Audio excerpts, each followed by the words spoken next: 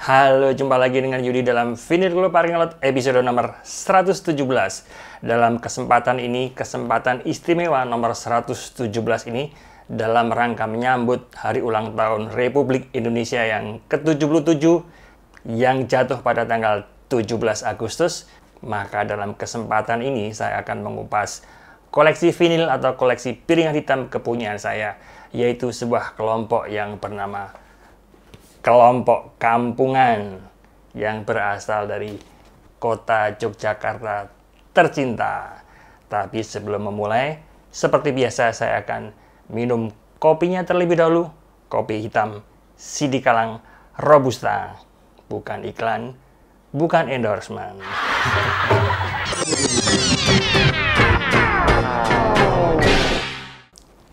Cocok banget ya teman-teman. Dalam nuansa 17-an, cover dari kelompok kampungan ini pun juga nuansanya merah putih. Memang kelompok kampungan ini cukup patriotik di dalam menyajikan lagu-lagunya. Makanya saya mikir 17-an ini saya akan bahas koleksi vinil saya yang mana nih. Akhirnya pilihan saya jatuh pada kelompok kampungan. Kelompok kampungan ini dibentuk di Yogyakarta kurang lebih pada tahun 1976. Karena apa? Karena pada waktu itu tahun 1976 kelompok kampungan sempat pentas di Pasar Seni ITB pada tahun 1976. Dan salah satu pentolan dari grup ini Brahma Kahegum diceritakan setelah lulus SMA pada tahun 1976 hijrah ke Yogyakarta dan seperti yang diceritakan oleh majalah Hai nomor 46 ini pada tahun tersebut 1976 kelompok kampungan melakukan pementasan di acara pentas seni di ITB Bandung. Pementasan kelompok kampungan ini selalu menarik perhatian karena penampilannya yang selalu nyeleneh dengan kostumnya yang lain daripada yang lain. Suasananya sangat teatrikal sekali. Bahkan kadang-kadang dalam pementasan mereka bertelanjang dada tidak memakai baju sama sekali. Dan ini bisa dimaklumi karena kelompok kampungan dibesarkan di lingkungan teater di Yogyakarta di mana dia sering berkumpul di bengkel teater kepunyaan WS Rendra. Dan dalam setiap pementasan, berbagai macam alat musik diusung juga di atas panggung. Seperti alat-alat tiup, kemudian alat-alat gesek. Alat gesek ini seperti biola, cello. Sementara alat tiup itu adalah seperti flute, tapi bukan alat sedot ya. kemudian dikombinasikan dengan alat-alat musik modern seperti bass listrik, gitar listrik, drum. Dan kadang di dalam pementasannya, kelompok kampungan ini membawa seperangkat gamelan yang diberi nama Nyipilis kepunyaan bengkel teater. Oh ya teman-teman tahu nggak artinya pilis itu? Pilis setahu saya adalah semacam ramuan tradisional beras kencur kemudian ditumbuk dengan herbal-herbal lainnya dan digiling kemudian dikepal-kepal biasanya dipakai untuk embok-embok di pasar apabila mereka kepalanya pusing ditempelkan di jidatnya. Itu namanya pilis memang para pendukung kelompok kampungan ini banyak sekali personel-personelnya. Nanti saya akan tayangkan siapa saja personel-personel dari kelompok kampungan ini.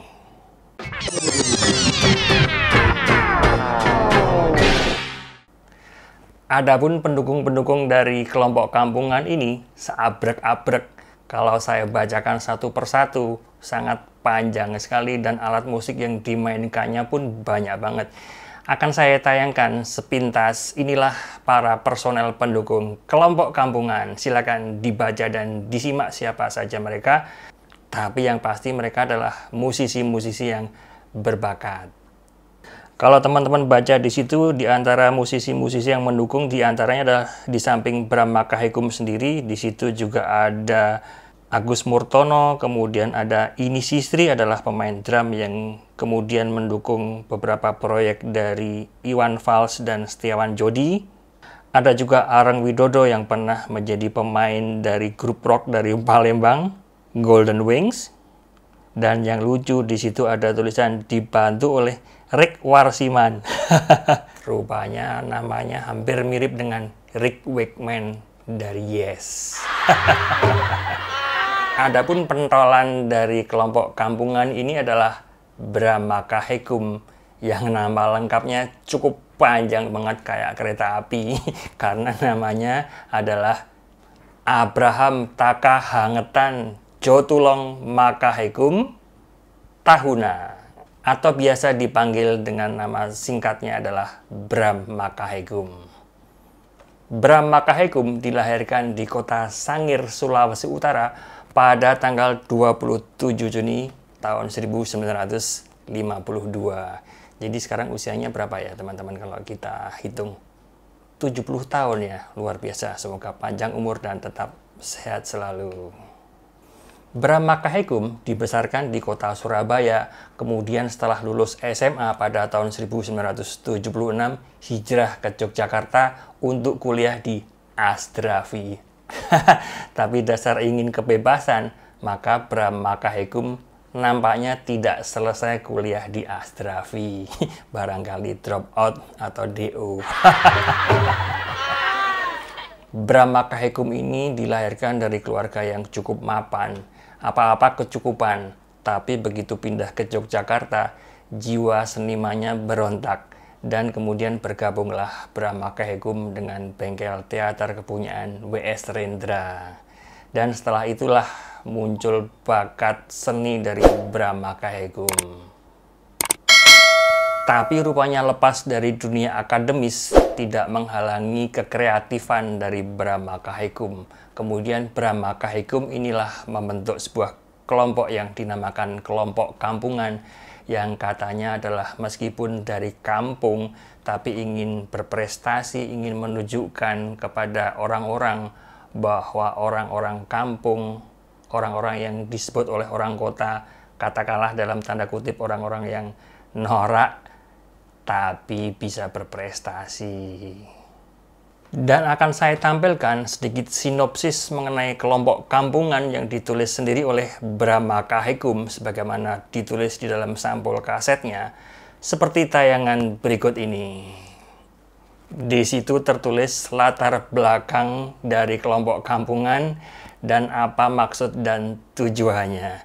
Ditulis oleh Brahma Kahekum di Yogyakarta di Taman Sari pada tanggal 27 Juni tahun 1980.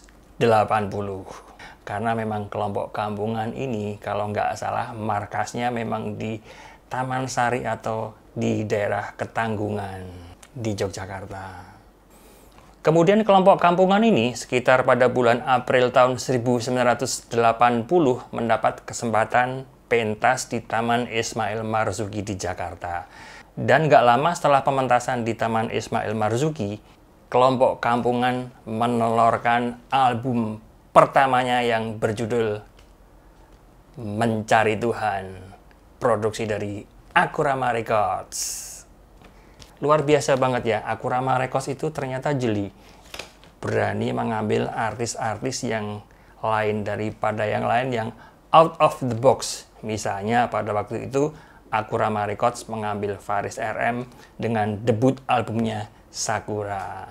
Akan saya keluarkan isinya, vinyl ini, first press dari kelompok kampungan, di mana di dalam album pertamanya dari kelompok kampungan ini hanya terdiri dari lima buah lagu dan salah satu yang cukup fenomenal dan sangat spesial di dalam album kelompok kampungan ini ada pidato Bung Karno pada saat menyambut Maulid Nabi pada tahun 1964 di Istana Negara Jakarta.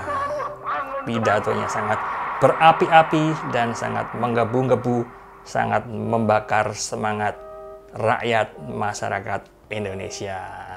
Di samping ada pidato Bung Karno, ada beberapa buah lagu yang diunggulkan adalah lagu yang berjudul mereka mencari Tuhan.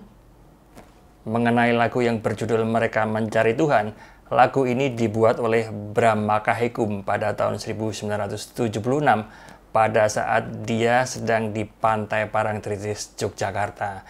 Rupanya Bram Makahekum pada waktu itu diilhami oleh deburan ombak pantai Parangtritis dan ramainya turis-turis yang mengunjungi pantai Parangtritis sehingga mengilhami Brahma Kahikum bahwa mereka semuanya menyatu dengan alam mendekatkan diri dengan alam dalam satu bahasa.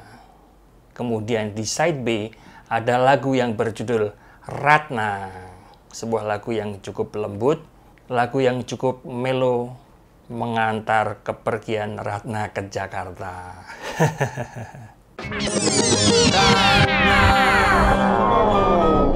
Di samping mengeluarkan album dalam bentuk vinil, kelompok kampungan di dalam album Mencari Tuhan juga mengeluarkan dalam format kasetnya. Dan yang spesial dari kaset ini tidak terdiri dari lima buah lagu, tapi terdiri dari sembilan buah lagu. Jadi kalau di dalam versi vinilnya terdiri dari lima buah lagu, tapi di versi kasetnya ada empat buah lagu tambahan sehingga total ada 9 buah lagu. Jadi teman-teman kalau mau koleksi mestinya koleksi vinilnya dan koleksi kasetnya.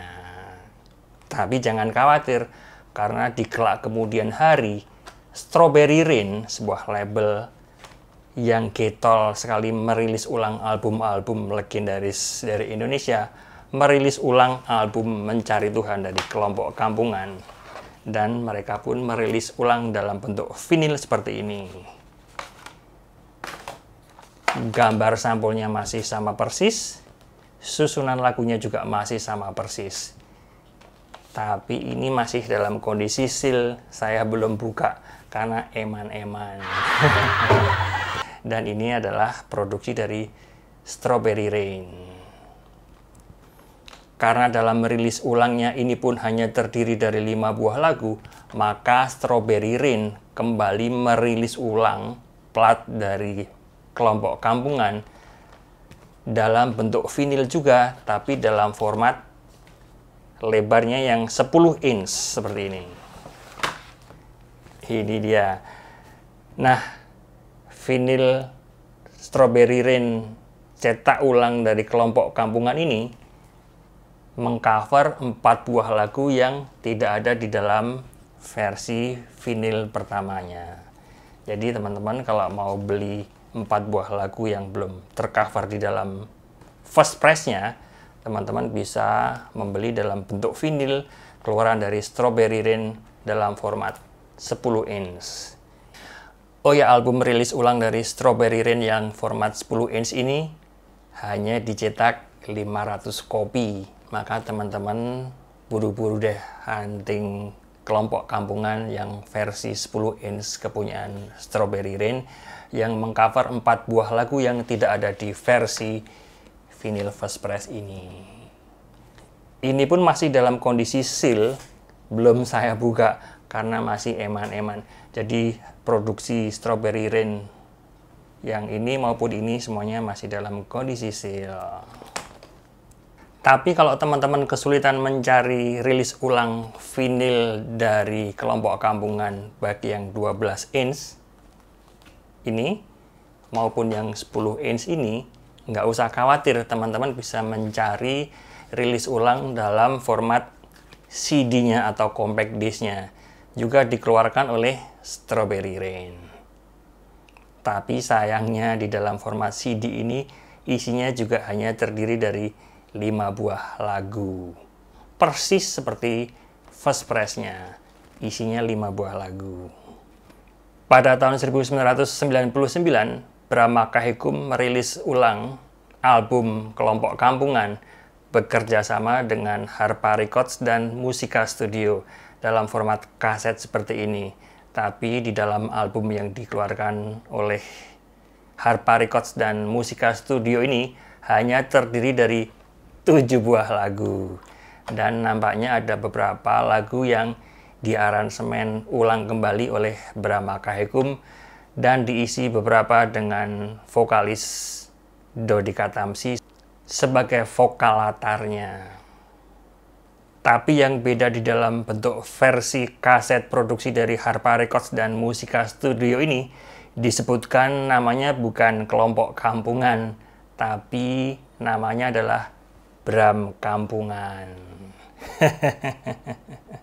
Desain covernya agak berbeda karena di sini covernya adalah gambar dari Bung Karno.